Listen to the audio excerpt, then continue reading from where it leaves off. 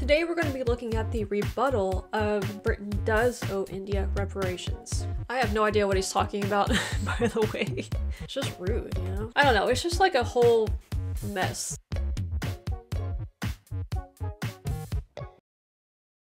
Hello everybody, Roger says hey. So yesterday I put out a video that was highly requested by Dr. Shashi Tharoor, who gave the argument that Britain does owe reparations to India. Not my most popular video that I put out. My audience is largely a UK audience, so understandably they weren't that keen on it. But I did say that I wanted to watch the rebuttal to that argument because this was actually part of a larger debate. So just taking one part of that argument and presenting that doesn't really give us the whole picture. Honestly, for me personally, what I'm getting out of these videos has nothing to do with reparations. I'm actually kind of on this side. The reparations don't really do much good. And they also don't really make a whole lot of sense because if you look at the history of humanity, it's basically just one conqueror after another, one empire after another. Billions of people have been harmed in some way by pretty much all of the countries. And then there are arguments of whether or not what happened to those people actually was good or bad for them. For instance, in the comments on this last video I did, there were a lot of people who argued that Britain brought a lot of good things to India. It wasn't just all bad. And I think it's probably more of like a gray area. It's not really a, a black or white issue. Now I'm coming at this from an American standpoint where I don't really have a dog in the fight. I'm more interested in just kind of learning what happened more objectively. I don't know a ton about the British Empire. I don't know a ton about Indian history. So what these videos are doing for me is it is kind of giving me a little bit more context for learning some of that stuff. And it's also interesting just to kind of see the different points of view about what happened. I'm watching these speeches, trying to listen to what they're saying and trying to get some history and context out of it. So the video that we're going to be watching today is by Professor John MacKenzie. He is a speaker that came right after Dr. Tharoor, so I figured he was also the best person to listen to about this. There were eight debates in total, but on the side of Britain doesn't owe reparations, his speech had the most views. So that tells me he's probably the best speaker to listen to on this side of the debate. So that's what we're going to do. Uh, I have no idea where he's going to go with this or how he's going to respond, but I am interested in hearing this side of it as well. So let's go ahead and take a look at what Professor MacKenzie has to say.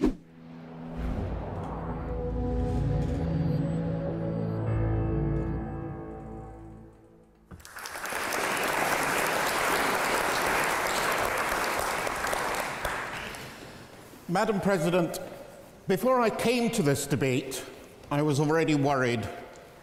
I was slightly troubled because, if you'll forgive me, gentlemen, I thought, oh my God, I'm going to be one of three elderly white men speaking against our friends here, and that troubled me. But during the debate, I'd become even more troubled, and I'd become troubled because I think we've been hearing a phenomenal amount of emotion when what I thought we were here for was to debate in a cold, clear, uh, and solemn way the qu question of reparations. Are they or are they not a practical policy? And my answer to that slogan up there is that yes, we do all speak for you. No, no.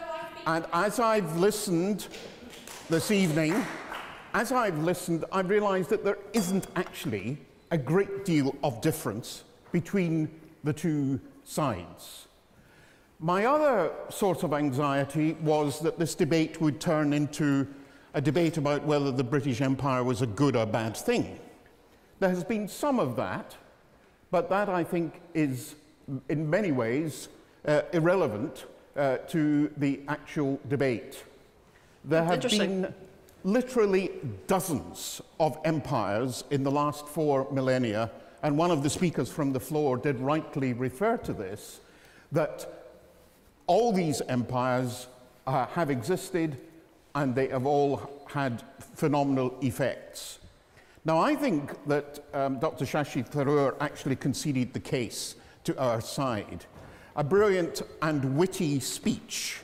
But at the end of it, he said he wasn't speaking about money, he was speaking about a moral debt. And I think Yeah, and I think that that's something that a lot of you in the comments started talking about the monetary aspect of paying reparations, which kind of surprised me because if you did listen to the end of Dr. Tharoor's speech, he did say that he doesn't want Britain to pay actual money. He just wants Britain to acknowledge that reparations should be owed, and that would be enough for him. So, like he said, it's more of a moral thing than an actual monetary thing. So, I think a lot of people who commented on the last video missed that in the speech because they kept arguing for why Britain shouldn't pay reparations. So it is interesting to flip that from well let's let's not talk about the monetary part because that probably is very unproductive at the end of the day. But what about the the moral part, which I think is maybe even a more complex thing to to try and process. This guy sounds really interesting. I'm really interested to hear what he has to say. But at the end of it, he said he wasn't speaking about money. He was speaking about a moral debt. And I think that is something that we can all actually uh, subscribe to. And I'm going to really continue in that vein. When I was taught history over 50 years ago, I regret to tell you, I was told that we should never deliver moral judgments upon the past, never to impose the condescension of the present upon past times. But I think we have abandoned that. I'll immediately concede. I think moral judgments have become increasingly common in the study of history. I actually agree with this as well. I've mentioned it in previous videos of mine where, you know, maybe slavery was brought up and so forth. And I absolutely am of this thought that it is a mistake to apply present day sensibilities and morals to something that happened two or three, four hundred years, you know, thousands of years ago, uh, because the world was in a different state then. People thought differently about things then. I I assume that probably two hundred years from now, people are going to look back on today and say that we're wrong about a lot of different things that we're doing now. You know, and how would we feel about that? How would we feel about somebody from the future imposing their morals on what we're doing today when we think that what we're doing today is um, fine?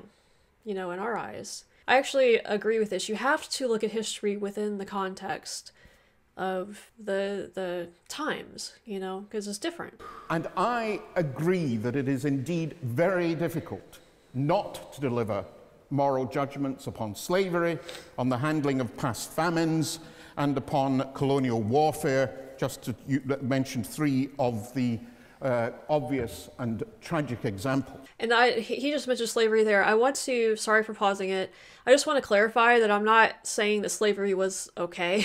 okay, I'm, I'm not saying that. Uh, I'm just, I'm just saying that um, you can't, you can't judge it from our lens today.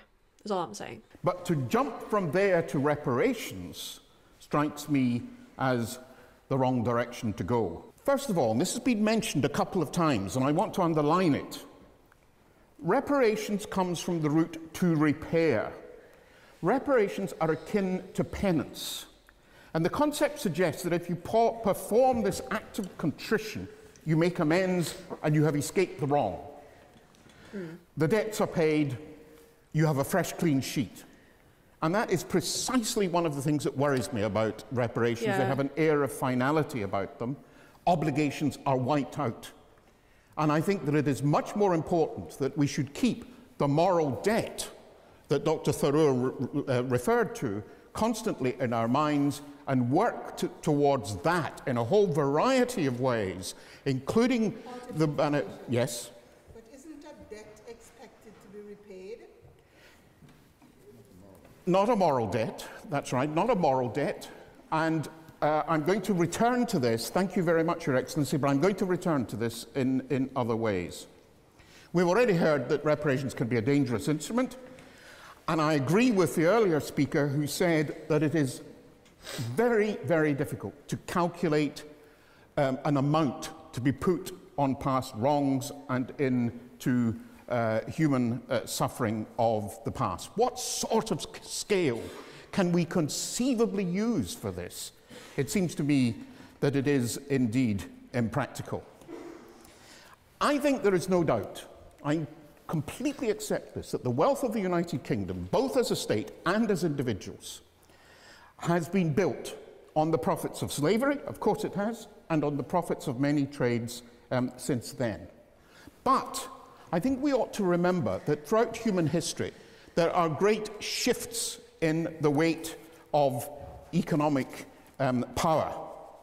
I'm going to suggest, surprisingly perhaps to Dr. Tharoor, why does Bengal not pay reparations to Dundee? Silence. You don't understand, do you? Well, the fact of the matter is that Dundee represented the absolutely classic economic nexus, nexus of colonialism. The raw material jute was produced in Bengal and it was manufactured in Dundee. But in Bengal, by the beginning of the 20th century, we were beginning to get manufactured jute. And in the course of the 20th century, as a result of the lower labor and other inputs of Bengal, Dundee was wiped out as a jute manufacturing city. So I have no idea what he's talking about, by the way. I understand the point he's trying to make, though, so I guess that's the important thing. In other words, what I'm suggesting to you is that there are these great shifts in global economic power. We've seen it in the case of the Far East. The, the Far Eastern shipbuilding industries absolutely knocked out those um, of Britain. To take a, a, a small example, cultivated pearls in China and Japan destroyed the pearl fisheries of Sri Lanka and of the Gulf. There are great shifts in economic power, as, as I've, I've said. I would agree with those who've said that there is a significant difference between individual cases like the Mau Mau um, uh, prisoners, like the Chagos Islanders, for example, to whom I think a great wrong has been done. These are individual cases. But to take something as, not as, as, as, as problematic as these economic difficulties strikes me as being um, much more of a problem. And I'm surprised in a way, I know we're talking about Britain, but I'm surprised in a way that nobody has mentioned Italian reparations to Libya. I have mentioned it. Oh, I beg your pardon. Um, Italian reparations to Libya were organized in 2008 by Silvio Berlusconi, whose very name causes a smile of contempt to come over all our faces, and Muammar um, Gaddafi. They were entirely self interested. On the one hand, what did Italy want? It wanted contracts for major um, schemes within Libya. And Libya wanted, of course, to sell its oil and gas. But worse, Italy was determined to try to stop what it regarded as the illegal flow of migrants out of Libya, thereby, you could argue, denying their human rights. In other words, this whole business of reparations, when we have seen it happen, has been highly problematic. The Italian concept of reparations to Libya has gone by the wayside. And we've seen the problem of migrants, of course, getting larger and larger. Um, um, Western intervention in Libya uh, meant the end of, of Gaddafi. And I think that's one of my problems with reparations. Reparations are always going to be phased. And when reparations are phased, the circumstances are going to change. They're going to be self interested, and the circumstances are going to change rapidly over time. And as in the Italian Libyan case, it ends up as a dead letter in any, in any case. Okay. I have to say, all of these interruptions of these random people in the audience interrupting him is really annoying. I'm really surprised that they allow that actually. Like, I feel like the speakers should just have the floor and let them say what they're going to say. You know, well, the people that are involved in the actual debate should be the ones to be debating these points, not people in the audience, you know. I don't know. I guess Oxford Union has their own rules about how they do it, but I don't know. I just find it kind of weird.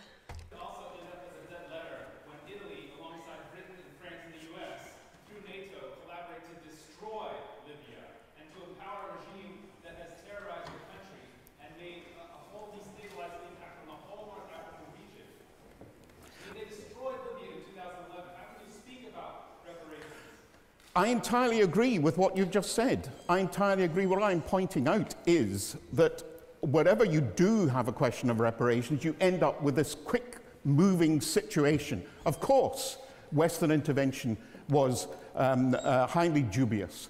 But look what happened to the whole reparations thing. They became a dead letter.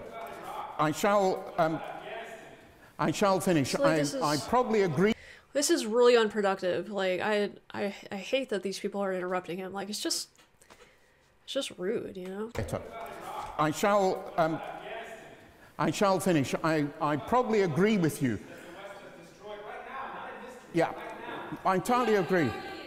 I entirely agree. But just let me wind up briefly by saying I do think there's a great deal more agreement between the two sides. And really, the point at issue that I would stress when you come to vote is that you must consider whether reparations are a practical policy. I started with a reference to Scotland. I very nearly came in a kilt, uh, but it wouldn't reach me anyway, so I couldn't get it on. Um, uh, and just to prove that there are different tribes within this country. Um, and I'm going to end with Scotland. Uh, Scotland started to become a colony of England in the 13th century. Uh, Scotland, like Ireland, has indulged in various acts of resistance to English colonialism. But then Scotland, as Dr. Tharoor, I think it was, said perfectly reasonably and correctly, began to benefit from the imperial connection, but then began to suffer. It began to suffer because its economy was slanted far too much in the direction of um, major heavy industries. Well, Scotland is making a comeback.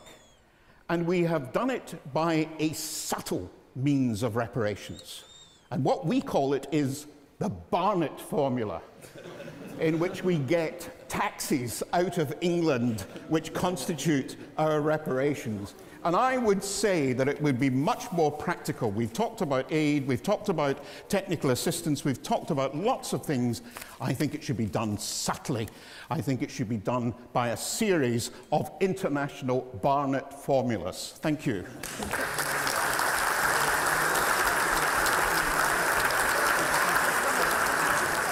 All right, so there was at least one of the rebuttals to that. I don't know if I got as much out of that as I would have liked. Um, I had no idea what he was talking about with the bonnet formulas. Bonnet, as in like bonnet you put on your head, or what you guys call in the UK the bonnet of your car, or is he using a different word that I couldn't quite figure out. As I said in the beginning, I do believe that the whole idea of reparations is impractical, like he said. It's really hard to put a monetary number on human suffering or economic oppression or whatever it is. I just think it's a really dangerous road to go down, and considering the course of human history, it just doesn't really make a whole lot of sense. However, the moral obligations of more powerful countries is another debate, it's a whole other thing to think about. I know being an American, you know, the United States is constantly in the spotlight and being blamed for a lot of things happening across the world. In other countries like the UK, Russia, China, you know, if you have a lot of power, then there is a lot of moral obligation there for you to use that power for good instead of bad. And I guess it just depends on your point of view of whether or not it's used good or bad. I don't know, it's just like a whole